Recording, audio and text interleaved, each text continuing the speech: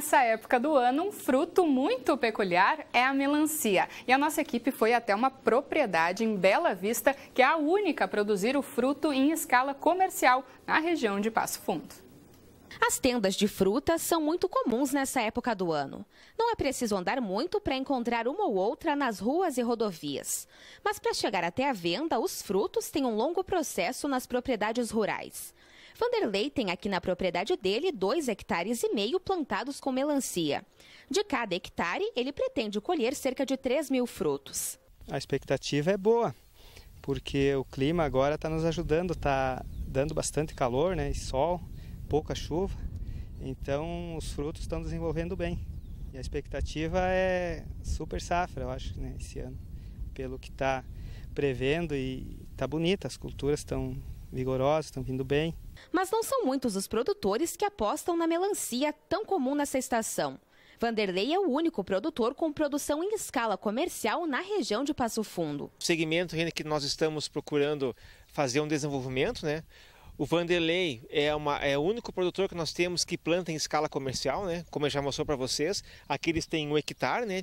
E lá na outra, na outra área tem mais um hectare e meio e tudo parcelado, né? Ele fez todo o plantio parcelado para quê? Para ele ter também esse processo, né, de continuidade, né, e de, e de oferta de, de produtos ao longo do tempo, né? As lavouras aqui estão na fase de enchimento para maturação. E para que se colham bons frutos ali pela metade de janeiro, o clima a partir de agora deve ser quente e seco. E para auxiliar na produção, Vanderlei tem apostado na irrigação com o sistema de gotejamento que nada mais é do que a água aplicada de forma pontual através de gotas diretamente ao solo. Mas os desafios de se plantar melancia não param por aí.